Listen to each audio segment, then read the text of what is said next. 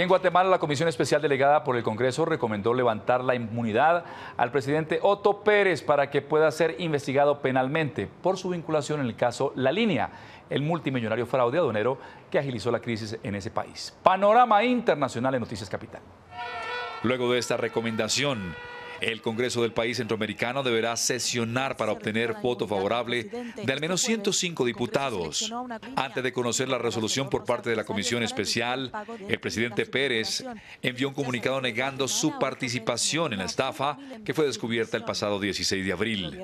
Según una investigación de la Fiscalía y la Comisión Internacional contra la Impunidad en Guatemala, un ente escrito a la ONU, el gobernante guatemalteco es presuntamente uno de los cabecillas de una mafia denominada La Línea, que cobraba sobornos a empresarios para evadir impuestos. Después de estos rumores, las entidades presentaron la denuncia el pasado 21 de agosto ante la Corte Suprema de Justicia, que autorizó de inmediato al Congreso iniciar el proceso para retirar la inmunidad del primer mandatario.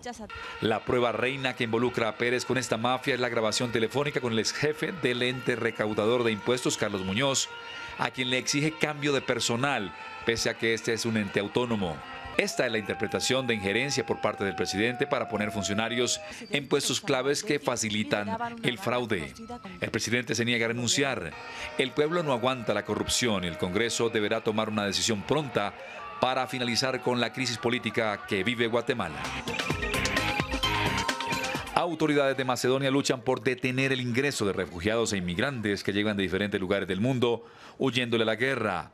De los miles que han pasado esta semana se pueden ver niños, mujeres y hombres que huyen de sus países por miedo a morir y otros huyéndole a la incertidumbre de no tener cómo vivir. Algunos le huyen a la guerra en Siria, otros llegan de Irak, Pakistán, Afganistán, como Asís que fue torturado por los talibanes por estudiar inglés. Escapé de Afganistán, fui a Irán y después a Turquía. Estuve unos seis meses en Turquía y vine a la Unión Europea y después llegué aquí. Para los migrantes, países como Alemania y Suecia son los preferidos. Talal, quien huyó de Siria, viajó con sus tres hijos. Se salvó de morir en el mar Mediterráneo, pero lucha por pisar territorio de la Unión Europea para darle un mejor futuro a su familia. Es difícil estar ahí. No hay futuro para los niños. Perdí mi trabajo, perdí todo. Soy ingeniero, mi mujer es profesora, pero no hay dinero, no hay trabajo, no hay nada. Su recorrido tendrá como meta Hungría, país que no exige pasaporte para ingresar y será la entrada para moverse de manera libre por toda Europa. Sin embargo, él, como miles de personas, aceleran su paso para llegar antes de que finalice la construcción de la alambrada, que bloquea los casi 180 kilómetros de frontera. No es muy bonito, pero vamos a cruzar lo que sea.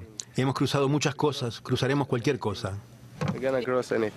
El gobierno húngaro anunció que reforzará los controles en la frontera con perros, caballos y helicópteros. En lo que va corrido del año, Hungría registró 100.000 solicitudes de asilo, más del doble del año 2014 y muy superior a los 2.000 del año 2012. Son las 7 de la noche, 39 minutos. Hacemos nuestra segunda pausa y ya regresamos con más aquí en Noticias Capital.